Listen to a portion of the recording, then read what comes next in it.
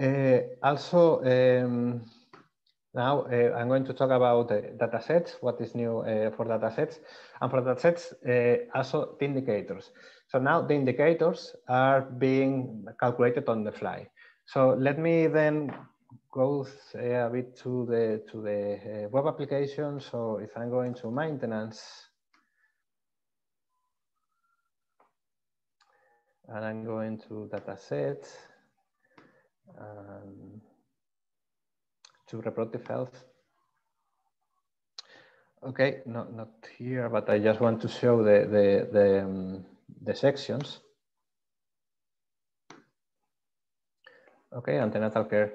So now if I, if I scroll down, I see that there are two indicators that are linked to that particular section. Okay, that's important because if you want to have in your Android application, like uh, for a particular data set, you want to have to visualize some indicators, you need to uh, you need to remember that you need to assign link those indicators to a particular section. Otherwise, they're not going to show up. Okay.